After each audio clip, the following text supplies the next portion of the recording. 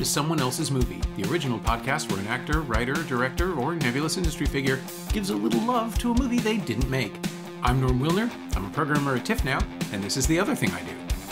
My guest this week is Rachel Lambert, a writer, director, and occasional actor whose latest feature, Sometimes I Think About Dying, stars Daisy Ridley as an isolated young woman whose protective shell shows signs of cracking when she connects with a new coworker. It premiered at Sundance last year, it opened in the US last month, and it's opening across Canada on Friday. It's odd and moving and frequently very funny, and you should see it.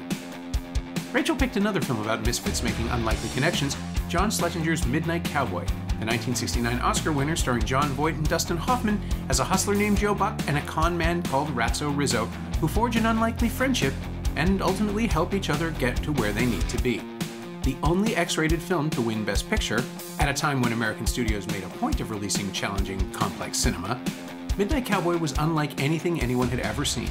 And now, of course, it just looks like a really good drama. This is someone else's movie. I think, you know, I was thinking a lot about, you know, I wanted it to have, I wanted to choose films that had some relationship in some way to the movie that I just made. Um, so there'd be some sort of thematic connection. And Midnight Cowboy is also a film that's about friendship. Um, that also verges on like romance or frisson between these two people. Um, or frisson, if I'm going to be pretentious. Um, but uh, you know, there, there's something. There's all these different gradients and layers, but but definitely deep connection born out of being seen and I felt like, oh, it's a very different movie, but it's similar in the sense that it's a film exploring that relationship and the effect that a single friendship can have on a life. You know, um, we can convince ourselves so completely that we're alone in the world and live by that narrative so faithfully until we're intercepted by a friend and then it just destroys and breaks apart those narratives and we have to like deal with that. At some level we have to we're like rewriting who we are as a result of something that's essentially so beautiful. So i felt like this film reflected that or talked about that um, and then personally it's a film that um, means a great deal to me as an individual um, and when i remember when i first saw it i was in middle school i believe. I just started getting more serious about movies um, in terms of not just being a junkie for them, but now studying them in a way that uh, was different than when I was younger than that point. And when I saw Midnight Cowboy, um, I had never identified so completely with a character before until I saw Rizzo. I feel like he is me sometimes. I feel like I'm him. I feel seen by him um, in a very deep way. And I have a hard time watching the film even to this day because I feel so much sort of fragile, brittle emotion about him and for him. And um, yeah, I just I wanted to celebrate the film as a result. Wow, I I'm trying to figure. I'm, I'm trying to to picture, imagine.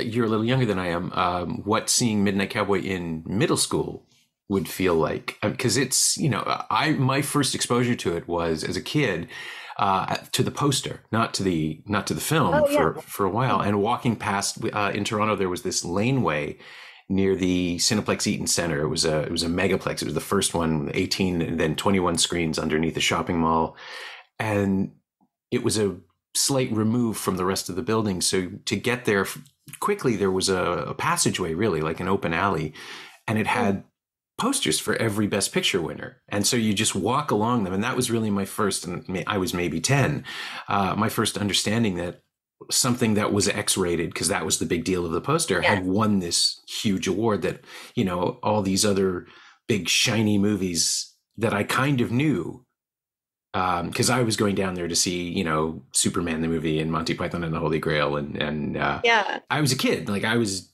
ten or eleven, and here's this movie that suddenly appears out of nowhere to my mind and just has huge status. But I didn't get to watch it until maybe another decade later when the um, probably when the Criterion edition came out in the, oh, in the late eighties. Oh, interesting. So it sort of lived with lore in your mind. it was a scary thing. Like it was this weird prospect of because I didn't know what it was about, and I mean, I'd read by the time I saw it, I'd read enough about it that I understood.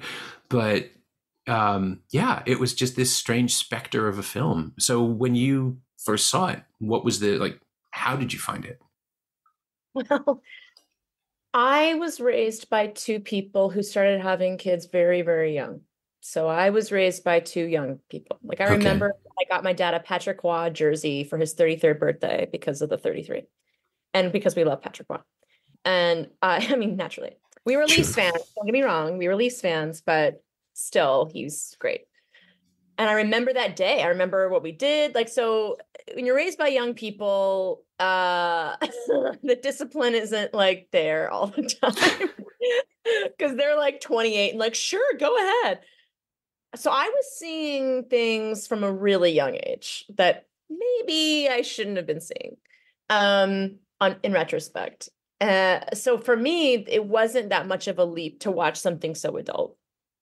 Um, I wasn't even aware of like rating systems. I didn't like I didn't get it because they would just go and take me to anything I wanted to go see if it was in the theater, and then you know if I was renting something from the video store, you know they kind of didn't check. They were like, okay, she wants to see this. I think also I was I was watching films in a really uh not ordinary way from re- before I could read. Like I was watching, I would wear out VHS tapes, like they'd have to replace them three or four times, and I would watch the same again until I memorized it. This was before I started school. So they I think they had a sense that there was something kind of obsessive going on and compulsive going on. And I think that they felt like, I don't know where this is going to lead, but we should probably indulge this. So, all that is to say, I wasn't really that scandalized by it uh, in terms of the, the content that might have brought about the rating. What most shocked me was the bald honesty of it. You know, the the willingness to to photograph something that I immediately registered as the revelation of people that I would ordinarily have either softened for my view or not see at all. Mm. And I think that was what was so radical about it. And it made me hungry for it. It made me hungry for that level of like truth and revelation. Um, you know, I'd already seen Carrie at that point. So like, you know, I uh, it, was, it would take a lot for me to be scared. But I was that was really what shocked me. And the fact that when it began, I thought it was going to be this. I do remember thinking it was going to be some descent into hell or something like that. But instead, it was this this reclamation of their souls of themselves as human. It was this hopeful, beautiful. I was sad, of course, but I was, it, but it didn't register as total total tragedy. There was something reclaimed for these people. Um, so I don't re- recall being like super down about it. And I do remember compulsively watching it over and over again for a whole weekend. Wow. Yeah, when I saw it, it was it was a similar discovery. It's like, oh, this isn't first of all, even in the late '80s, it didn't seem transgressive or like there. There's, it's an incredibly delicate exploration of sexuality in that you don't actually see anything, and it, it's very clear. Like the X rating still confuses me. I mean, I understand it was, you know, it was condemnation of the moral the moral landscape at the time, uh, and in the end, of course, when they resubmitted it for an R, uh, they got one. I mean, the yeah. after the after the, the the Academy Awards, it was just a straight line to to an R rating. Although there was this, there is this story about how um, the MPAA said, "Just let us cut one frame. It doesn't matter what frame, and then we can say we cut it." And Schlesinger said no, and they gave them the R anyway. Yeah, because yeah, because it's just such a such a strange posture all of the rating thing there's like there's a lot of interesting books and uh and podcasts i know that karina longworth does an amazing breakdown uh to start off her erotic thriller series and it was so well investigated and and allowed me to sort of bring into coherence the narrative of of that story of the rating system in a different way but yeah it's Yeah, what's in, even interesting is like there's even these sexual encounters that Joe Buck has, and they he uses Schlesinger uses cinema so creatively to underscore it, right? This clever, almost like fun, playful way of of animating and dramatizing sexual experience, uh, and I I just thought that it's so inventive and and yet an X. Okay. yeah, I just it, I think it was a way of maybe not punishing uh, a, a, studio for releasing the film, but just sort of warning, firing a warning shot at the culture, saying, "Look, if you if you try to make movies, you know, that are about degenerates, uh, mm. grotesqueries in New, like these New York filth that we that we're that we're hearing the moral majority be upset about. If you make movies about them and you try to present them in an empathetic way, we're we're going to make sure." Yeah, we're going to knock yeah. you at the knees, and you're going to be hobbled, and you're not going to be able to be as proliferate as you deserve to be, and we can do that to you. Yeah. Which is still a code. That's still living by the moral code. And it's a perverse flex because the MPAA was a studio organization. That's the thing I never understood that they would be the harshest on things that could presumably, you know, be not just profitable but but positive for studios to to underestimate the patriarchy, my friend. Mm, fair point. Um, I, am trying to figure out where the patriarchy lives in Midnight Cowboy because it is a movie about dudes doing what they want, which is supposedly what the patriarchy is into, but I don't not see it, like that honestly, it's dudes doing what they have to. Mm. This is a movie about survival. Sure. Well, I mean, but Joe Buck comes to New York because he says it's what he wants. I mean, it's all, it's obviously about people who lie to themselves constantly and, and have to, uh, have to confront reality eventually. But it, but it, there is something truly beautiful, as you said, about the way Joe and Ratso puncture each other's illusions. Mm-hmm. You know, it's not really out of out of malice. Like Rizzo's big breakdown is is is honesty. It's not yeah. anger. Yes, delicate, beautiful tones from Dustin Hoffman. Performance that I can't even believe exists. I can't believe it. Ex- I can't believe it exists. And um, the treatment of humanity that he renders is a magic trick from the sort of Buster Keaton esque dexterity that he can he can level when he's you know, fill, you know, going through someone's pockets as he gets them into a cab and lights a match on the back of the cab as it pulls away. I mean, that is unreal.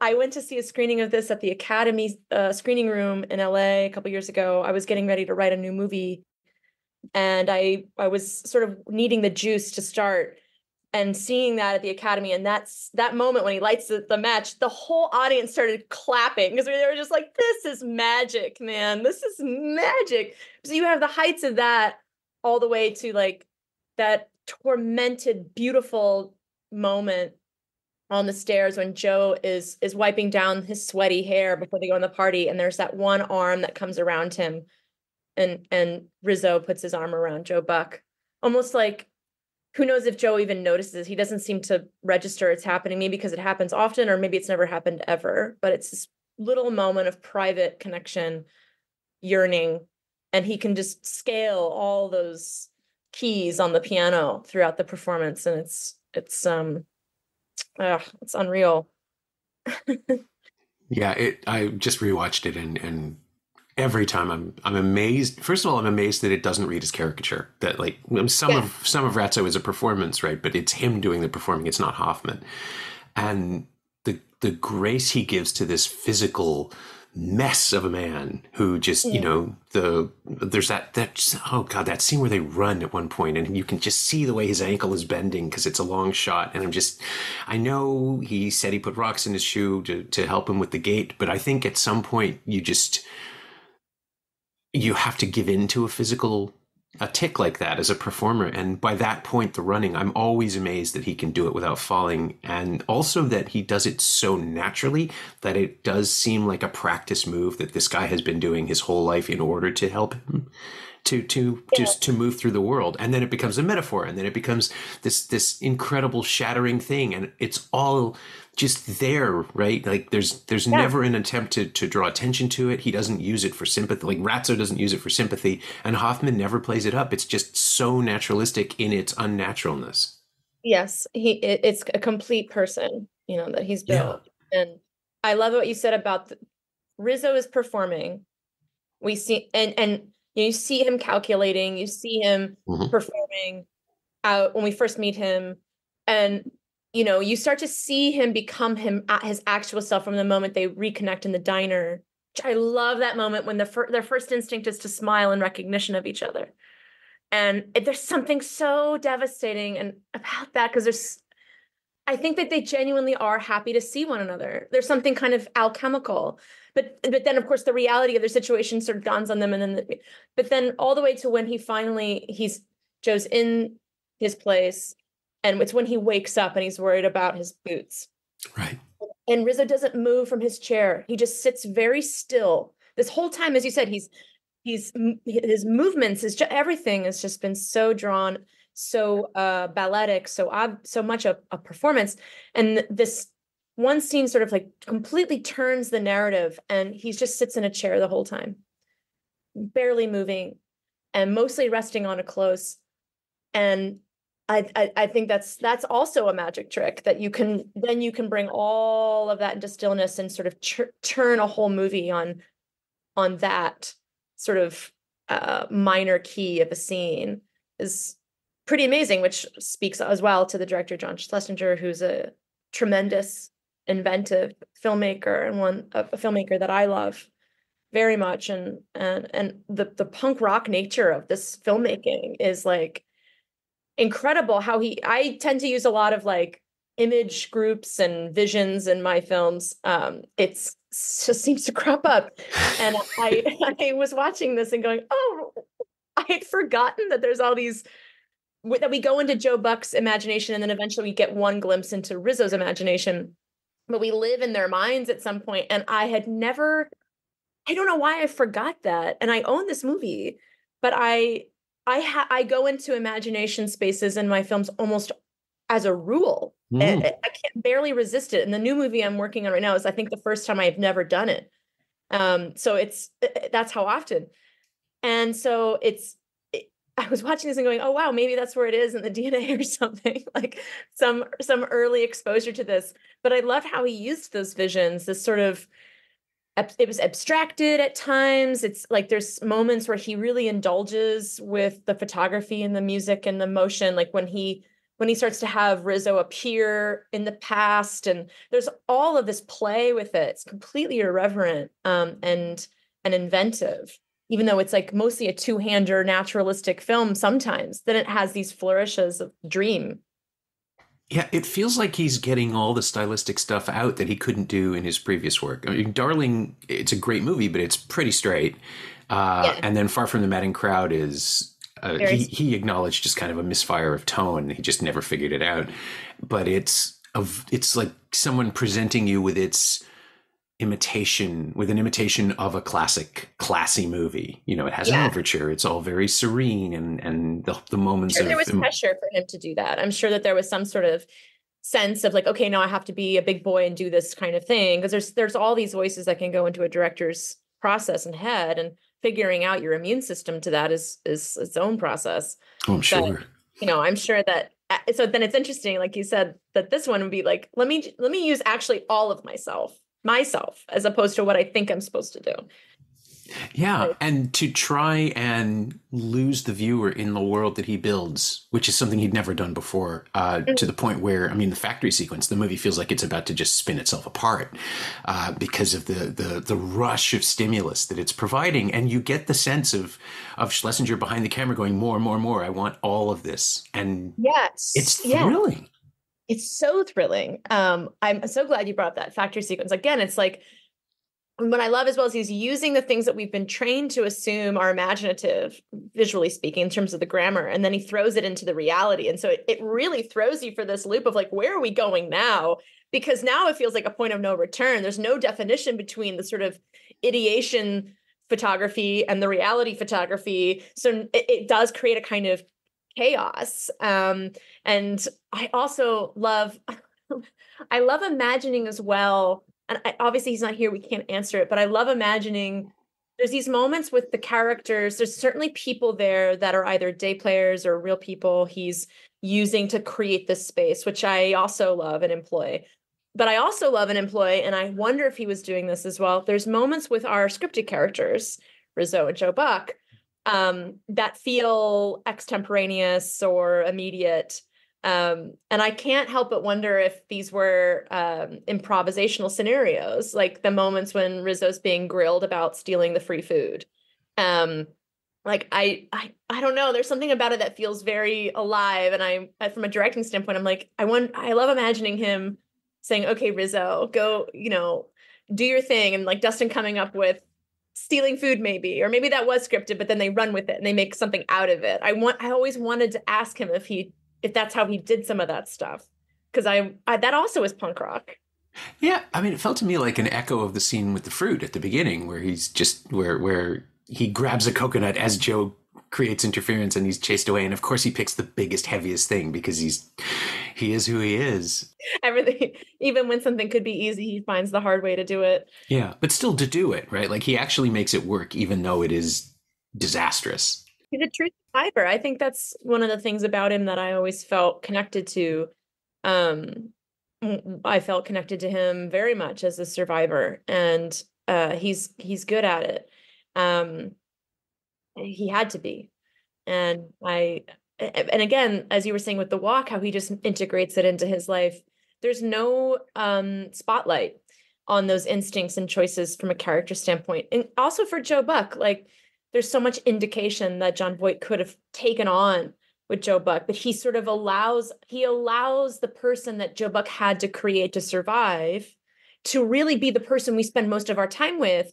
And there's just these moments where we see the the young boy who never got to advance and mature and grow up um sort of in in altercation with his environment. We see those fragile moments but but jon voight's very he's so it takes a lot of bravery i think to say no i'm going to joe buck isn't aware of his performance as much as rizzo might be. He hasn't gotten there yet. So he of course is only going to live the truth of that out and i think that's that kind of resistance um i think takes a lot of courage as a performer um and a lot of um tenacity. And so i think that's also uh really interesting to see because i think uh you know a lesser film would be like wink wink but he's got all these other things going on. It's like they don't necessarily give that away. They're like maybe he is maybe this is all he wants. Maybe there is nothing else you know but we do of course get these traveling sequences where we we get a sense that there's more churning for joe but he seems almost unconscious to it. Like he's able to see the memories but he can't let them in fully until the end.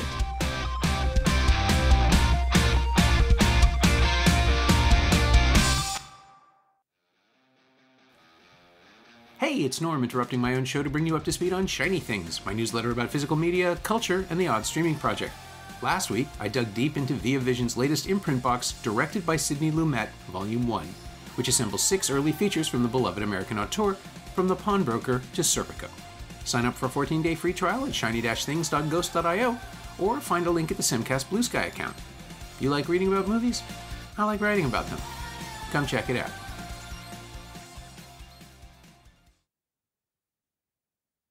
The scene on the bus, the end shows us who he really is, the tenderness and, and the care that he, he brings to his life. And, you know, the awareness just a couple of times when he props Rizzo up and repositions him and just makes sure he's comfortable that like that speaks to somebody completely different from the from the guy we've been watching. And this time through, I mean, I know that um, everyone talks about Midnight Cowboy as specifically queer coded as as a revelatory work in 1969 for a film about the love between two men that never becomes sexual, but could. Mm-hmm. I think, I think this time through, I, it something clicked to me, and it feels like Joe is a masculine drag artist. Like he is performing a kind of masculinity as a persona that's it's not confrontational exactly, but that Western cowboy swagger. Like he's not a cowboy. He's repeatedly told that he's not a cowboy. He he's dresses like a Hollywood movie version of a cowboy, like somebody who only yes, he's from Texas, probably. I mean, we we have to believe that. We see the flashbacks. Um, but he's he's dressed like like basically like Michael J. Fox in Back to the Future 3. Like he bought his stuff at a costume store. Yes. And and this this assumed persona, um, while it's not an exaggeration on the level of drag performance, it's not not an exaggeration. It's it's this affected walk and like he he actually has more of an affected walk than than Rizzo does because Rizzo mm. was born with whatever he's got and this guy just picked it up but his his um his blankness in that performance is really fascinating. Like he's watched John Wayne movies and Gary Cooper movies, but he hasn't understood the backbone of the characters, the fictional cowboys that he's he's imprinted on. He's just assumed it as a kind of armor.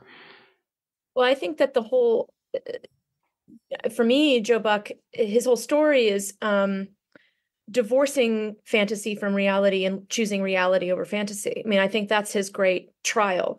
And I think that um, that he and Schlesinger sets this up from the beginning, right? The opening shot even indicates to us this is a person whose life is arrested inside the screens, inside the imagination, inside the fantasies that he had to live out or experience or or drown himself in to get through whatever it was his childhood was. And I think that also indicates that there was a complete lack of modeling. You know, he's dressing as a man because who else is going? Where else did he see see them? Where else did he interact with them? Where else did he get indications from that? Where else was he taught what a man should, who he should be? What should and and those those codes that he's performing as have been you know sort of IV dripped into him since he was a child, and there was no other um, expression or interaction or exposure uh, to a narrative outside of the one that he got from the things he he watched on a screen. These screens, these movies, these fantasies have, I think, dominated a lot of his life in reality and you see it even some of the the you know the first bus trip up it's he's constantly imagining there's constant like he's ima- even the first introduction of him right isn't reality. It's where's that joe buck? Where's that joe buck? That's not real. That's him imagining it because he's answering something and goes i'll show you where that joe buck is. And then he looks at the mirror all of that is in his head. It's not real. And it it's shot like it's real. So we it has this sort of sense of reality but we're constantly in his brain constantly in his fantasies that that are made up of the pieces of his reality. But then of course the the bus trip down there's none of that. He's in reality and his reality is hard but it's real and all of that costuming is gone. And he's he puts it in the trash can you know the the the the drag costume as yeah. you as you alluded to, he puts in the trash can. So I, I think you're totally right. I think they were all thinking about, that. Um, I know that Ann Roth is the costume designer and certainly someone that studied and that practiced at her craft. I'm sure was working very closely with all of them to to tell the story with the clothes um, as much as anything else. But I I really I really loved that. Uh, you know, I think that this is also a movie talking about complex uh, trauma and how that works on a person, especially when the complex trauma is initiated in a childhood. And we don't get as much of Rizzo's youth, but we get a sense that there was some measures of of, of those things um, that he's battling. But you know, I think this idea of disassociation and living in your mind is so present uh, for many uh, dealing with complex trauma, and so I think this is also a film that's predating a lot of our present day conversations. Remarkably so. Yeah. I mean, it's 55 years old and and yet it's urgent today. I watched it just the other day again and I was like, Jesus. if it's not today, I'd be like, what what is this? It still feels so fresh and urgent and dealing with things that we're only still trying to figure out masculinity, how to be a man, how to especially when you're coming from the south and I can only speak to that. I'm born in Kentucky. My world is very southern, and uh, certainly there's there's a special piece of that that I think is also a big part of Joe Buck's life. It's it's hyper. There's a there's a deep religiosity. There's a deep masculinity component that is very specific and performative. I think that's my personal opinion in the South, and we're dealing with that right now. We're dealing with all the you know dealing with gender and sexuality and and the spectrums of those things. And this film is dealing with it. So not only frankly but i think ex- with such exploration and such honesty and such willingness that it's really shocking in, in an exciting way. Yeah i mean if anything is ripe for rediscovery as an artifact although i suppose now it probably feels square in that it isn't explicit in its confrontation. Like it's all about illusion and and and suggestion and letting people put the pieces together. But of course that's why it works because we bring ourselves to those elements and and try to figure out where things fit in our own lives. And and that's you know that's art. That's how that's supposed to go. Um, yes. Yes. Yes. I mean i think art lives in mystery. Art lives in the space between you know art lives in in those negative spaces it is what allows something to to progress through time and to modulate through time and to have dimension through time and new eras and new brains. I can understand the urge i can understand the urge for explicitness or exposition. There's something satisfying to have some gratification of curiosity immediately but um, i think if you can resist that temptation as an artist you, the work will prolong because then there's there's new dimensions that we can never even anticipate with our work because we don't live in the future. So what could this become really has to be left to the audience left to left to time. And i think this film wisely does that. Um, and and honestly you know i i enjoyed seeing a film where it's people who are so I think it speaks more truly to who these individuals are that they wouldn't be connected to themselves sexually so easily or romantically so easily. I don't I don't think I think they can have these feelings. I think they can have these the depth of those feelings, but I don't I don't think it would have been honest for them to then immediately know what to do with them. Um, that's my opinion. I'm so happy to be pushed back on that. And I'm sure there's probably people with greater dimension of experience to push back on that.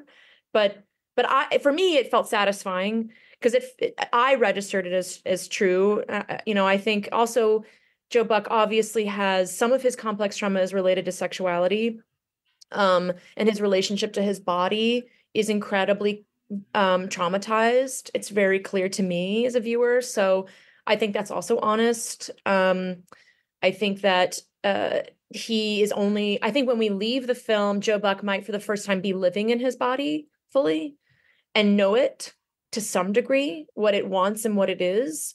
And I don't know if you can have honest sexual relations with someone you care about until that's true. So I think that's also very exciting in terms of dealing with trauma and complex trauma on screen. Yeah, I mean, as a recovery narrative, that absolutely fits. That mm-hmm. he's he's finally coming into his own uh, agency, identity. He's he's you know his his defining line is like all I'm good for is loving, but that's that's not what he's doing in any of those scenes. Like he is letting himself be used and letting other people act on him. Um, because he doesn't know. He's never really loved and been loved in return. In a in a way where someone didn't want something from him in a way that that was um transactional or um manipulative. Um which I guess some people might then so well he's so easily manipulated in the beginning of the film and it's like well because you know he's not really he's not had a lot of agency in his life at large. You know he's always kind of had to depend you know there's it's kind of a blanche dubois about him you know kindness of strangers is all he's been able to depend on. And in some ways you know this this um he's not really been in charge of himself um from a young age. And and i think that he doesn't understand that what he's doing isn't loving you know he doesn't he doesn't even know which is a, so a part of his journey and his tragedy but he's finally loved by someone who gives a shit about like what who he is um that he's eating that he's okay that he doesn't smell that he's taken care of um that wonders what he had to do to get the ticket to Florida that worries about it. You know all of that is to say it's yeah I, I, to see that change in him and to see that dramatized is is pretty wild.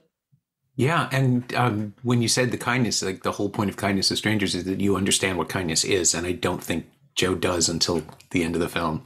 Oh, that's really well put. Yeah, to, to get the kindness of strangers, you know what kindness is, and goes, yeah, oh yeah, yeah, yeah. I love that. That's so good. I'm gonna use that. I'll attribute it, of course, but um, but I I really, I really love that. Um, you know, it's it's funny. I I moved to Manhattan at 18 years old. I didn't go to college right away. Um, to the Lower East Side in 2003, and I think for me, uh, this idea of like learning learning suspicion of others in a sort of exposure therapy way um, and then finding yourself there's i see a lot even in my narrative uh, resonation with that part of so it wasn't even just rizzo that i connected to it was joe buck as well and I think that you know uh, even even for someone like me who wasn't in the depths of what they were going through, I I definitely appreciated sort of seeing seeing that uh, dramatized through Joe Buck, this sort of awakening of the world to yourself. Um, and you can experience that on his level, which is incredibly extreme, or on mine, which was just going, oh, yeah, people can swindle you, huh? oh. It does sort of line up nicely, as you said. I mean, you you chose it because it resonates with with sometimes I think about dying, but there is something really key to the connection between those two films in the idea that not that people can swindle you, but that people can save you, that people can rescue yes. you. Yes, yes, yes. No, the, the swindle part of it was me just sort of going. I was just thinking when I was thinking about the film of like I remember my first walks down streets and seeing New York for all it is and being both elated and also like, oh wow, okay. Um, like I always appreciate that about the film that it's it's, New York is still New York, um, no matter what. But yeah, in terms of uh, the the overarching truth of Midnight Cowboy is like, is you you're being saved by being seen, saved by a friendship. The depth of what friendship can do to the person, to a person um, particularly one who might be feeling disassociated from the world around them or doesn't even know who they are in the world around them. That is certainly Fran and Robert's story for sure. And um, I, I immediately recognized that kind of arc and rewatching Midnight Cowboy um, as I was getting ready to consider releasing our film and thinking about it so much. It's very different territory. Oregon is not the sidewalks of New York City that might have made me go at 18. Um, and also excited. But Oregon's very different. However, Fran herself is someone who uh, lives in fantasy as a kind of coping mechanism for life and surviving a day. And her fantasies are much more rich and promising and or or um, sensual or comforting or seductive than anything that she I think allows for in her life. I think the great story of Fran is that all the things that she discovers at the end were always there, much like Joe Buck. They were always there. She just had to learn it. And I and I don't think that we're meant to go through this life alone. I don't think that a human being is is is capable of all of itself on its own. And I think Fran understands that by the end of her story in our film. And I think that's certainly what Cowboy was doing. And it lines up very much with my own philosophies about that. Um, and our our fantasies are not as punk rock; they're a bit more Crewdson rock. Um, but um, but it, it was exciting to get to to, to play uh, with with those kinds of themes and ideas. That's for sure. Yeah. And is there anything? Because this is always the way the podcast ends. Is there mm. anything specific that you referenced or lifted or just outright stole from Midnight Cowboy? Not necessarily for this film, but for any of your work? Have you ever? Yes, I do. I have something very specific. Awesome. So there's a new film that I'm working on called Carousel, and I wrote it, and um, we are getting ready to try to make that this year, and I'm very excited. And there's a moment in the first act when our two main characters, it's a love story, when our two main characters who haven't seen each other in a long time and there's been some pain between them, there's a haunted history between them, they run into each other at a sports bar in Cleveland. Um, and they're very far away in the room. And there's enough stage business that goes on in the scene that they don't actually connect in this moment, but they see each other. And there's a very deliberate moment of seeing each other. And their first instinct is to smile. But then they remember, oh, I lied to that person and then the the person that was lied to sort of knows it as well and quickly leaves but not with ceremony or any kind of drama just slips out. And i absolutely stole that from midnight cowboy. I consciously did it. I think i wanted to do it but i used it in a different way so to speak nice Uh, and I did want to ask before we go because I'm fascinated by this. Uh, there was a documentary released a couple of years or last year, I guess, called "Desperate Souls: Dark City and the Legend of Midnight Cowboy." Have Have you seen it? It takes a really interesting sort of avant-garde look at not just the film's production, but the context in which it exists. I haven't seen it yet. I know it was playing at Film Forum for a minute, but I wasn't in New York City at the time and it's one of those things that I probably need to rent or own at home because I don't know if they're going to screen it on a uh, you know anytime soon again in New York. But I'm very desperate to. I'm desperate to watch it. Um, very desperate to watch it. I I'm I'm intrigued by by what it has to reveal about that time in terms of making art, that time in New York City, and uh, the people making it. I, I can't imagine.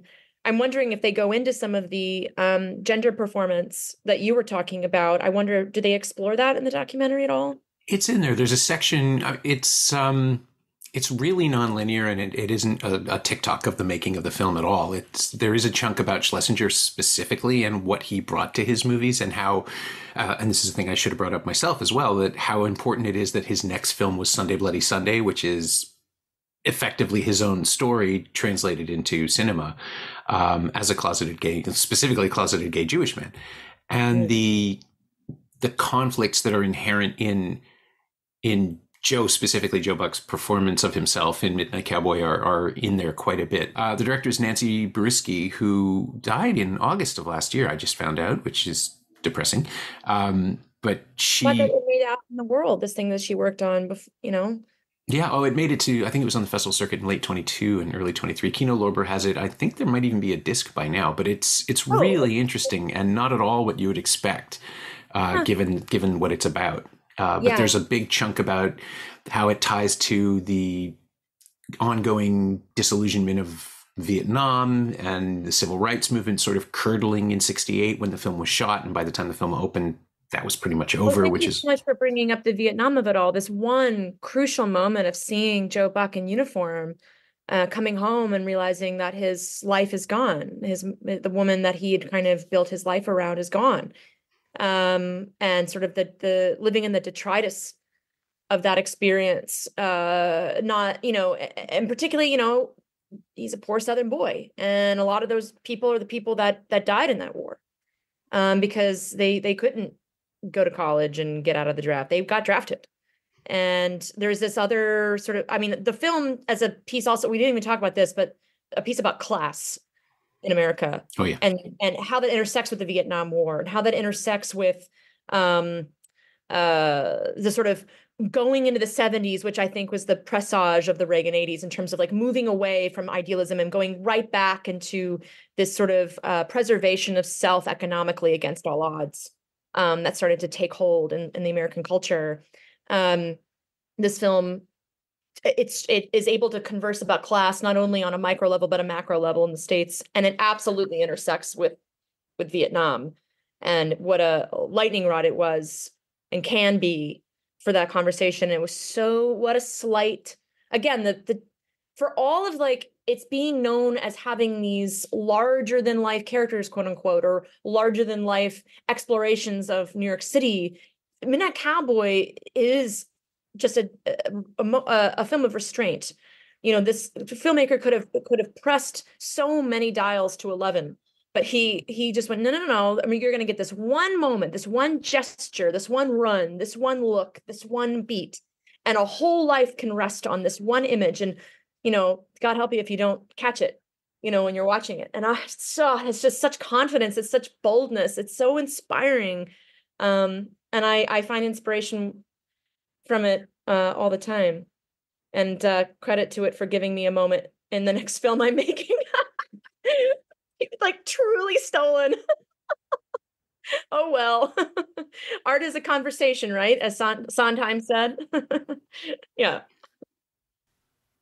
My thanks to Rachel Lambert, whose terrific new dramedy, Sometimes I Think About Dying, is now playing in the US and opens across Canada this Friday, February 9th.